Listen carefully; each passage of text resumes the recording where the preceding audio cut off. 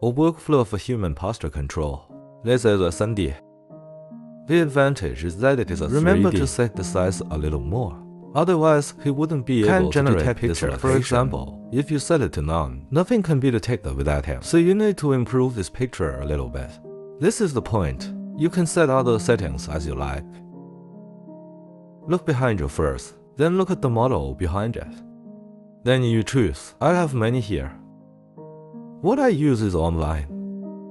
I will introduce how to install it. I will later. also share the workflow in my pen files. This is very good. Control of character posture. Okay, it does Can't seem to recognize the bug. Change an action.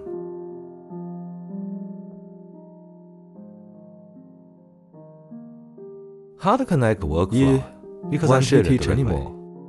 If you like to study its modules, then you.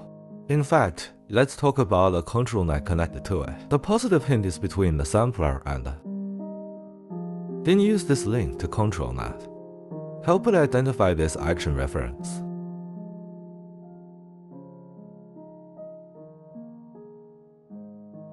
This is the settings screen. Let him recognize the picture.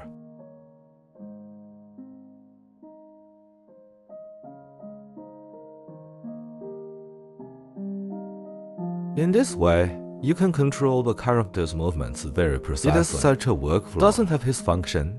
Well, I use the online ComfyUI Duana.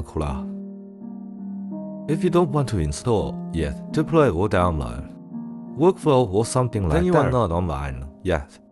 I will let go in the On future. this brain cloud, just click on my app. Click on my workflow. Just click on the character pose you need. Just came out. You can use it directly. Then I will introduce. If you are local, how do you install? Locally, it is very Just simple. look at me. This is a plugin for 3D pose. Search what you need directly here. This 3D pose came out. Just click install. Just restart. Yes. As for this workflow, if you want to use it locally, then you can go to my notes. Ah, this search ComfyUI tutorial. Here is my character's posture control. There is a way to install. Yes. There are also workflows directly. Just download.